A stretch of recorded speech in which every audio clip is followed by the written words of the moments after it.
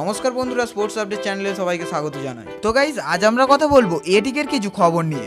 তো চলুন বেশি দেরি না করে শুরু করা যাক আজকের ভিডিও আপনি যদি এটিকে এফসির একজন ডাইহার্ট ফ্যান হয়ে থাকেন, তাহলে অবশ্যই ভিডিওটিতে একটি লাইক করে দেবেন এবং ভিডিওটি কেমন হয়েছে তা কমেন্ট বক্সে জানাবেন।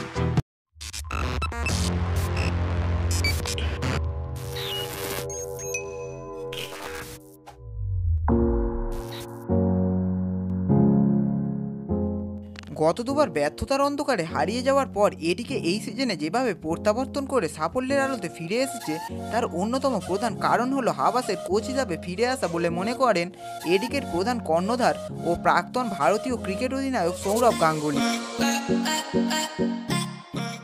এই নিয়ে তৃতীয় মরশুম হাবাসের তত্ত্বাবধানে হিরো আইএসএল খেলছে এটিকে এফসি প্রথমবার তারা চ্যাম্পিয়ন হয়, দ্বিতীয়বার সেমিফাইনালে উঠে ছিটকে যায় এবং এবার সেমিফাইনাল খেলছে তারা। হাওয়াসের ফিরে আসা নিয়ে সৌরভের বক্তব্য। হাওয়াসের সঙ্গে খুব গভীর সম্পর্ক আছে আর হাওয়াস এমন একজন মানুষ যে নিজের কাজটা হৃদয় দিয়ে করে। তাই আমি অত্যন্ত খুশি ছিলাম হাওয়াসকে নিয়ে। দ্বিতীয় মৌসুমের পর হাওয়াসকে ছেড়ে দিতে হয় আমাদের। কিন্তু আমরা অত্যন্ত খুশি যে সে আবার ফিরে এসেছে। তার মধ্যে একটা আলাদা ব্যাপার আছে। কিছু কিছু মানুষের মধ্যে একটা এক্স ফ্যাক্টর থাকে। হাওয়াসের মধ্যেও সেই এক্স ফ্যাক্টরটা রয়েছে। এবারে হিরো আইএসএলে এটিকে যে এত ভালো পারফরমেন্স করছে তা নিয়ে সৌরভ বলেন এবছর টিম এত শক্তিশালী টিমের ব্যালেন্স এত ভালো, বিদেশি ফুটবলাররা এত ভালো হাওয়াসও কোচ হিসাবে আবার ফিরে এসেছেন। ওর কোচ হয়ে ফেরাটা আমাদের কাছে খুব গুরুত্বপূর্ণ।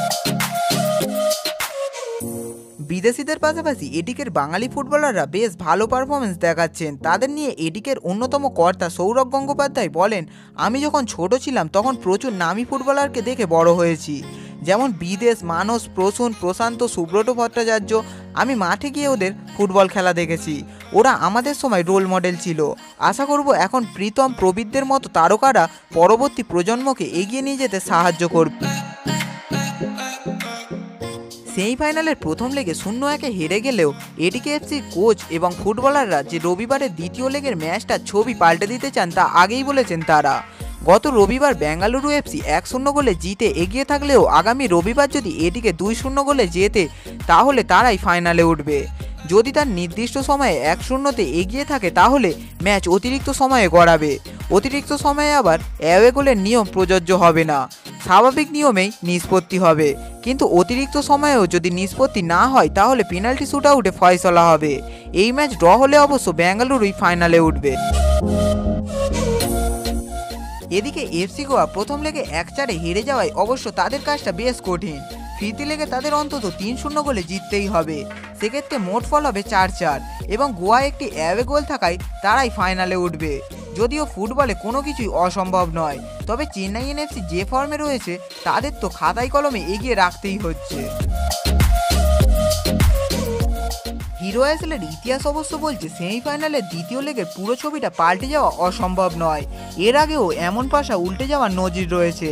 গত পাঁচটি মরশুমে যে দশটি সেমিফাইনাল হয়েছে, তার মধ্যে দুবার প্রথম লেগে হারের পরেও দ্বিতীয় লেগে ঘুরে দাঁড়িয়ে ফাইনালে ওঠার নজির রয়েছে।